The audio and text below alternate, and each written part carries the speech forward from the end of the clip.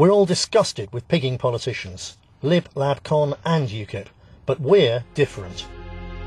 Do you remember when our country was a wonderful place? Free speech, honest politicians, a health service that worked, and safe streets. We British, the English, Scots, Welsh and Irish built a decent, fair and happy society. Our war heroes defied European dictators, riding out the storms of war to preserve our traditional British Christian values. In World War II, the sacrifice of our heroes saved not just Britain from invasion, but the whole of Europe from the evil Nazi plan to create a totalitarian European superstate. Our war heroes fought like lions to stop Britain being swamped by foreign invaders. What would the mates they left behind think if they could see Britain today? What's it coming to when you're made to feel like an unwelcome foreigner in your own country? Political correctness strips us of our heritage, turning us into second-class citizens in our own land. PC councils ban St George's Day festivals and tear down English flags. The heroes who laid down their lives to save this country from past invasions must be turning in their graves.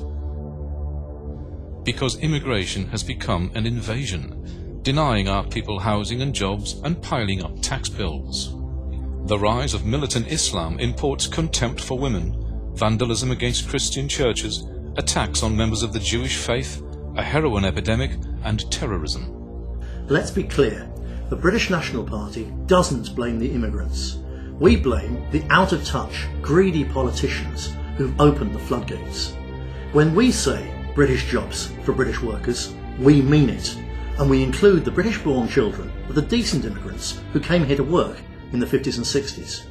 It's not about racism, it's a question of who has helped build our country. Is it racist to look after our own people?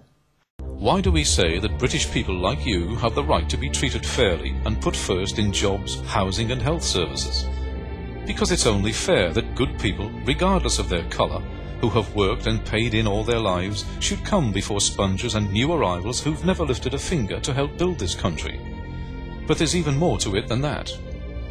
In the end, the answer to the question, by what right should native Brits be put first, can be seen on every war memorial in the country.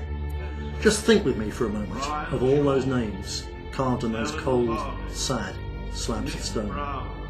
English names, Scottish names, Welsh names, Irish names, our British names, nobody else's, because overwhelmingly it was our people who did the fighting and the dying for our country. That's why you, like us, have the right to demand British jobs for British workers and a reversal of the immigration tide that threatens to turn our people into a minority in our own homeland.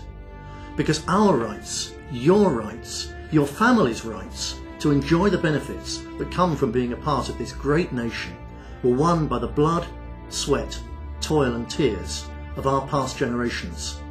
They worked, fought and died to pass to us all that we hold dear. Now we're here to do the same, with growing confidence, for our children and grandchildren, to defend our island, whatever the cost. Remember, that's not racism, it's just natural common sense. That's why the BNP is Britain's fastest growing political party, winning council and assembly seats all over the country in two recent elections, we won more votes than all the other parties put together. That's why millions will be voting BNP on June the 4th. If you love your country, make sure you're one of them.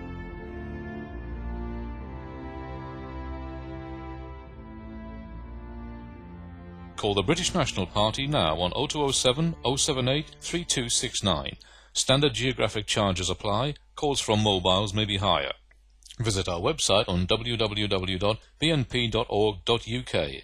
Isn't it time we stood up for our country?